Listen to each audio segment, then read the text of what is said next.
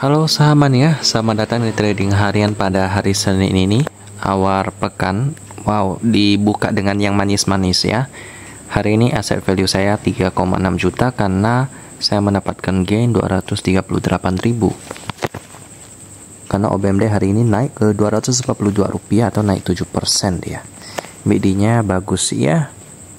Ini perkembangan yang cukup bagus di awal pekan ini. Jadi semoga dapat terus bertahan teman-teman saya target saya sih masih cukup tinggi ya 350 jadi semoga bisa tercapai. Kira aja untuk hari ini teman-teman saya tutup dan kita ketemu lagi di video selanjutnya